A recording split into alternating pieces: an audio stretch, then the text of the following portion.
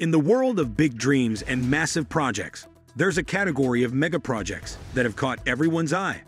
But it's not because they've achieved something amazing or mind blowing. Instead, they've grabbed attention because they're really audacious and seem to have no real point. These are the projects that don't seem practical. They make us scratch our heads, and we're left wondering why they were even made. So, with that being said, join us as we look into the most useless mega projects in the world. Let's start with a super beautiful highway in Hawaii called the Interstate H3. It's about 26 kilometers long and goes through some of the most stunning scenery you'll ever see. People were even worried that drivers would stop to enjoy the view and cause traffic jams. But here's the twist. This highway has a controversy attached to it. Back in 1960, they thought about making it to help the military, connecting a naval base and an air station. But when they said they were going to build it, a lot of people didn't like the idea. People who cared about the environment and native Hawaiians were worried about it making things too crowded. Because of the rules at the time and some changes in the plan, it took a long time for the construction to start. About 26 years later, they got permission to build it, even though it was against some environmental rules. The highway finally opened in 1997, which is almost 37 years after they first talked about it. The H3 is kind of a marvel of engineering because it was built in a tough area, and they used advanced methods to build it. Besides the cool tunnels, it mostly goes on bridges to keep the ground below safe. But even though it looks amazing, and they spend a lot of money on it, not everyone likes it. Some people call it the road to nowhere because the reasons they wanted it in the 1960s don't make sense now, and it doesn't go straight to downtown Honolulu. And then there's the thing with the native Hawaiians. A lot of them still don't want to use the H3 today.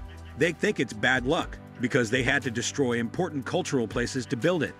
The H3 is a big deal in terms of big projects, but for some native groups, it's still thought of as useless. Ciudad Real Central Airport, Spain. Spain is a popular travel spot in Europe, and that influenced the idea of creating Ciudad Real Central Airport. The goal was to provide a new option for travelers within Spain and internationally, easing the burden on the crowded Madrid airport. The new airport had one of Europe's longest runways, capable of serving 2 million passengers a year.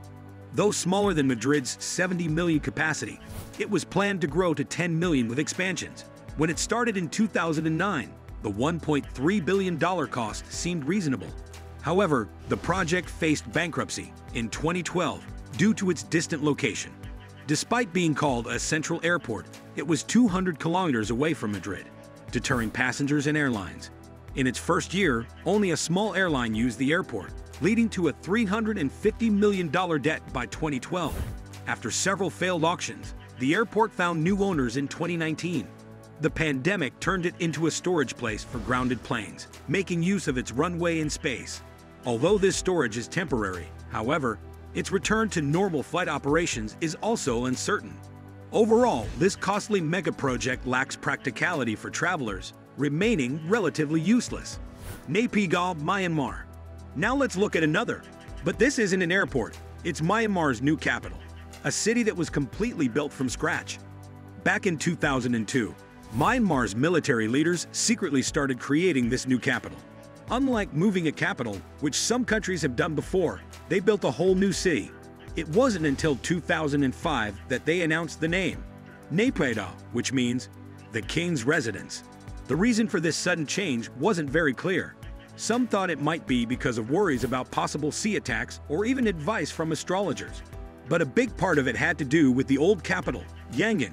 It had around 7 million people and was getting too crowded. The plan was to make a new central capital to handle the growing population. The new city was constructed pretty quickly, with the government spending $4 billion on it. Naypyidaw has a lot of cool things, like a 20-lane highway, over 100 fancy hotels, golf courses, museums, and even a big 99-meter copy of a famous building from Yangon. But here's the thing. Not many people live there. Right now, Naypyidaw has less than a million residents, mostly in suburbs that were there before it became the capital. People aren't too keen on staying there permanently because there aren't enough good hospitals, schools, or jobs. So it often looks like a deserted place, earning it the nickname Ghost Town. The big 20-lane highway is almost empty. There's barely any traffic. Even the airport, which can handle millions of passengers, isn't busy. Shopping malls only get visits from diplomats on weekends, and hotel lobbies are usually empty.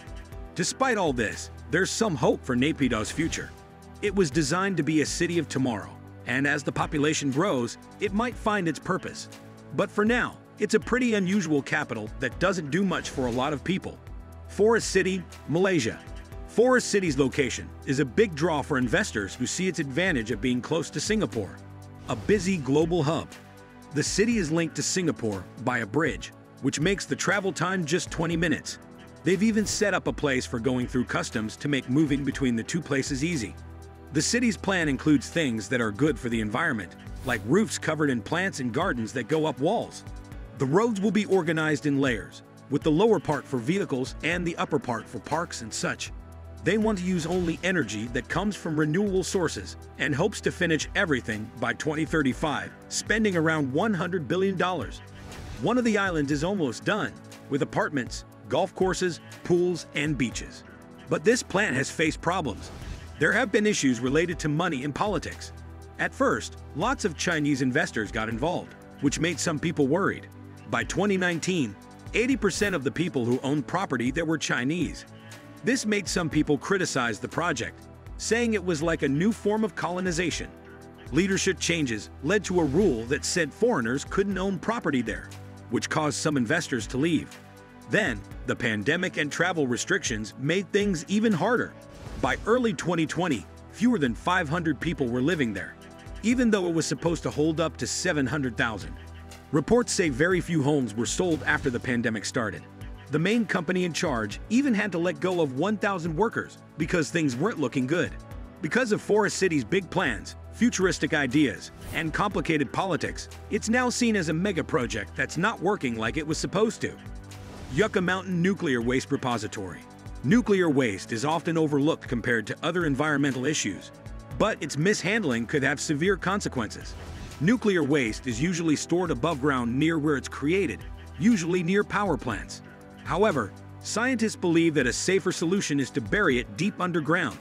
In the 1980s, the U.S. tried to find a way to deal with nuclear waste. They chose Yucca Mountain in Nevada in 1987. It's close to a nuclear testing site and far from cities. The plan was to put the waste in tunnels about 300 meters under the mountain. Yucca Mountain is made of volcanic ash from millions of years ago, which can absorb radioactive waste without breaking apart. But many people in Nevada didn't like the idea. Even though the US has over 100 nuclear reactor sites, none are in Nevada. People there didn't want to be the only place with nuclear waste. They also worried it could pollute a nearby water source important to Native Americans. Despite the opposition, the project got approval in 2002, and construction started again. But the resistance in Nevada grew stronger. They thought moving nuclear waste through their state could harm people and tourism. They felt Nevada was chosen because it's less populated and has fewer representatives in Congress. By the time Barack Obama became president, the project was very political. In 2010, his administration stopped funding for it. Later, a court said it should continue, but not much progress has been made. The current administration under Biden has said Yucca Mountain won't be used for this anymore. Nevada seems to have won after a 40-year struggle. Despite lots of planning and spending over $17 billion, the Yucca Mountain project has never been used and remains an inactive and useless mega project. Alright guys, there you have it. Now, have you ever stumbled upon any other grand project that ended up going nowhere? Tell us about it in the comments below. If you enjoyed this video, make sure to subscribe and hit that notification bell to stay connected for more engaging content.